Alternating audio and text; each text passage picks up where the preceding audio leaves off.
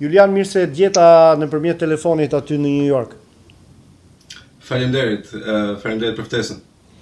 Herën e fundit jemi takuar në Toronto, apo jo? Po, po. Duket se ka qenë muaj gusht, fundi i muajit gusht? Shtator, mos bëfsha gabim. Fillim shtatorit, Po, edhe gjatë këtyre muajve që kanë kaluar, çfarë të rejash kemi nga jeta jote profesionale? Qoftë realizime të reja filmike, qoftë pjesëmarrje në festivale, na mbaj pak të azhurnuar me të rejat. Po, ë Në fakt, në Toronto isha për Nollywood Film Festival dhe aty, siç e siç e u thashë, mora tre çmime, Best Director, Best um, Experimental edhe Best uh, Documentary. Dhe pastaj uh, një muaj më mbrapa isha në Montreal dhe dhe aty uh, mora Best Documentary Kështu që më ka ecur mirë me Kanadan. Shumë mirë. Është fjala, është fjala për dokumentarin kushtuar atij doktorit AKA Dr. Hope apo jo? Po, po, po, është pritur, është pritur jashtëzakonisht mirë në përgjithësi. Doemos, doemos. Ishte edhe tema ishte shumë e veçantë. Dhe njëkohësisht gjatë kësaj kohe ë kuptohet që vazhdoj shkruaj kam paralel Tre skenare që më duhet t'i mbaroj sa më shpejt dhe uh, shpresoj njërin prej tyre të mundohemi të të arrijmë ta xhirojmë në New York. Uh, Njëkohësisht kam pasur një farë diskutimi me një nga regjisorët e njohur për mundësinë ndoshta uh, përfshirjen time në në grupin e tij të skenaristëve për një um, uh, për një serial evropian Dhe kështu, këto janë. Këto janë momentalisht. Ah, dhe kam kam edhe një një film të shkurtër që e kam mbaruar 99% e kam mbaruar së xhiruari dhe presim të bëjmë edhe të mbarojmë pjesën e fundit që ka ngelur dhe ë uh, montazhin dhe pastaj do jemi gati me atë. Kaq, kaq vetëm kaq.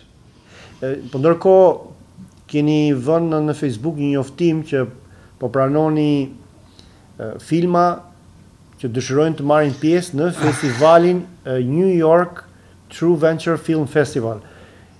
Po, me sa, po. me sa, kam kuptuar, ju jeni një nga drejtuesit e këtij festivali. Më trego pak kur është themeluar ky festival, kush janë organizatorët?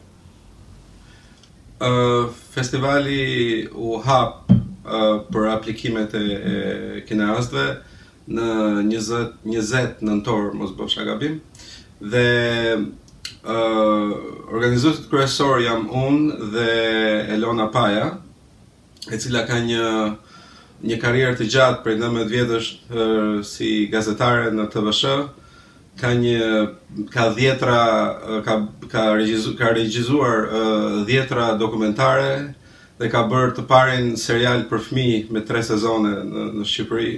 Pra është vërtet një profesioniste e mirëfilltë dhe është një një për mua domethënë është një nder që punoj me një me një me, me profesionistë të këtij rangu edhe në përgjithësi edhe edhe me të tjerët që kam komunikuar që komunikoj vazhdimisht një ndër ata mund të veçoja është Bujar Alimani që gjithmonë më mban afër, gjithmonë më trajton si mik e shok dhe më jep mendime për për kur kam pyetje të ndryshme për për aspekte të ndryshme qoftë regjisë, qoftë skenareve dhe këta janë njerëz që më më ngrenë shpirtërisht, moralisht dhe më më bëjnë që të vazhdoj të punoj.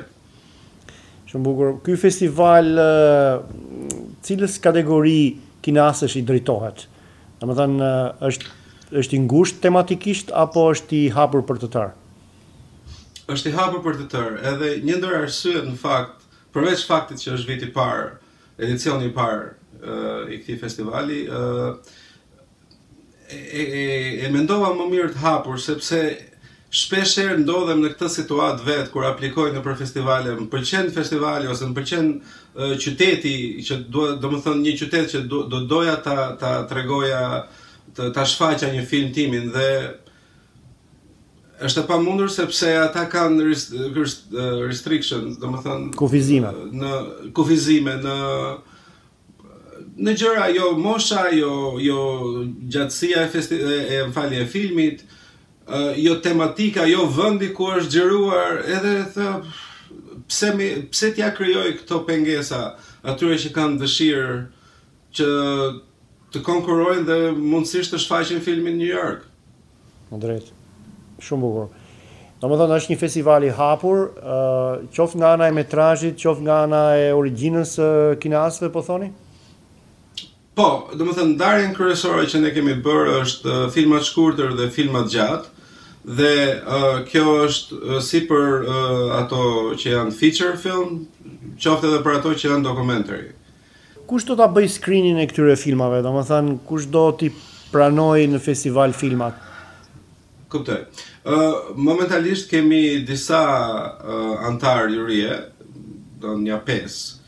Dhe presim që të marrim edhe edhe njerëz të tjerë se dua Dua që të jetë një, domethënë, vërtet çdo kush të shikohet në mënyrë të barabartë, në në mënyrë, domethënë, me vlerat e veta artistike apo ideore, apo skenaristike, domethënë, dua që secili ta ketë atë mundësi, siç e thashë, është një lloj si për si për mua kur vete unë nëpër festivale, dua që të trajtohem edhe unë me me respektin e e krijuesit, e krijimtarit, edhe E njëjta gjë, të njëjtën gjë dua të realizoj dhe unë për tjerët. Julian, në ç'datë mbahet festivali dhe cila është data e fundit për të pranuar filmat konkurrues? Data e fundit më ke kapur me këto datat sot. data e fundit është faktikisht, mos bëfsha gabim, është 15 prilli, e përfundimit të aplikimit dhe festivali është momentalisht e kemi lën, më falni, e kemi lën për 2 ditë. Ë uh, njërën ditë do kemi screening, shfaqjen e filmave dhe dhe domethënë filmat që do jenë zgjedhur, e kam fjalën.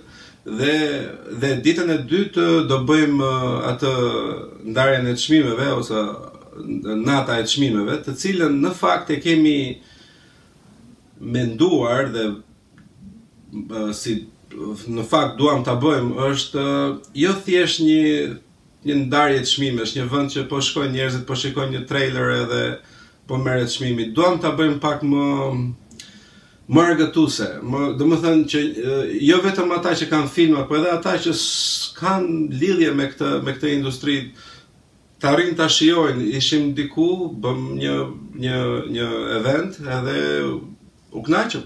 Pra dua me këtë dua të them që ë um, kemi ftuar edhe uh, këngëtar e instrumentist që të jenë pjesë e natës së dhënies çmimeve. Pra në mënyrë që kjo të bëhet në mënyrë sa më një një eveniment sa më argëtues. Juliana, dëshironi ju që ta shfrytëzoni këtë rast pra këtë bisedë telefonike që po bëjmë që të tërhiqni edhe vëmendjen e kineastëve shqiptaro-kanadezë, sepse këtu ka disa që kanë prodhuar dokumentarë, filma të shkurtër në Toronto dhe në Montreal. Mendoni t'u bëni një thirrje edhe atyre të marrin pjesë Po. Unë mund, mund ta them këshu, që sado që festivali është ndërkomtar, është i hapur për të gjithë. Uh, është një ndjesi shumë pozitive, shumë dashamire, sa herë që shikoj filma të sjell nga shqiptarë nga kudo që janë. Ë uh, edhe janë norm, absolutisht janë të janë të mirëpritur, edhe siç thash, më krijojnë personalisht më krijojnë kënaqësi. Kështu që absolutisht janë të ftuar të të, të gjithë ata që dëshirojnë të konkurrojnë për të shfaqur filmat edhe për të konkurruar për çmime në në New York. Julian, kam uh, përshtypjen se unë nuk jam i pari që dalloj një ngjashmëri uh, të portretit tuaj me De Niron. Jua kanë vënë në dukje besoj edhe të tjerë më përpara. Kjo më ka bërë vaki një herë kur uh, po luaja rolin e Al Capones në një dokumentar. Dhe isha me rrobat e mia civile, domethënë. Po, rrobat e vinin njerëzit, rrobat e ditës. Dhe më vinin njerëzit kushdo që vinte brenda, oh, ti luan Al Caponen dhe unë shikoja po, më pa, shumë duket. Edhe vjen pastaj njëri po u lodha se po vinin njëri pas tjetrit dhe u lodha, thash, se thash çfarë çfarë është çfarë është problemi. Edhe vjen i fundit edhe ia bën, "Ej, ti Al Capone-ja." Thash, "Po, më, po ti kush je?" U tha, "Unë jam regjisori." Thash, "U bubu." Kështu që bosi. Domethënë, po, domethënë ndoshta jap pak atë të të të gangsterit. Ti mund të jesh ti mund të jesh më italian. Ti mund të jesh mërzitur me këtë ngjashmëri se mund të jetë bërë e bezdisshme, po ky është edhe një lloj kapitali në këtë industri apo jo? Ja? Një lloj kapitali jo, padyshim. Është, është, është më se normale. Por në fakt marrja ime me aktrim ka qenë një aksidentale, dy eksperimentale dhe domethënë nuk është se domethënë jam i përqendruar në shkrim skenarësh dhe ndonjëherë me regji apo me produksion. Ë uh, por aktrimi ishte ishte një eksperiencë shumë interesante që domethënë edhe pse s'kam studiuar për diçka të tillë, më ka pëlqyer shumë dhe Kam marrë komplimenta për atë që kam bërë, domethënë për shembull skenën që kam bërë me të Al Capones, megjithëse ishte dokumentar, e kam bërë për 20 minuta vetëm me një vetëm me një xhirim. Domethënë unë bëja fjalë me regjisorin i thoja, "Ok, tash e mora vesh se çfarë do, hajde e bëjmë prapë." Ai ja bënte, "Jo, jo, mbaruam." Thash, "Po jo, më si mbaruam, vetëm një xhirim kemi bërë." Ai thoshte, jam unë regjisori, jo ti, kemi mbaruar, është rregull, është xham, lëre. Falenderoj shumë për kohën, edhe të uroj shumë suksese. Ti je me këmbë në tokë edhe kam shumë besim se do ecësh përpara. Shumë shumë faleminderit, shumë faleminderit.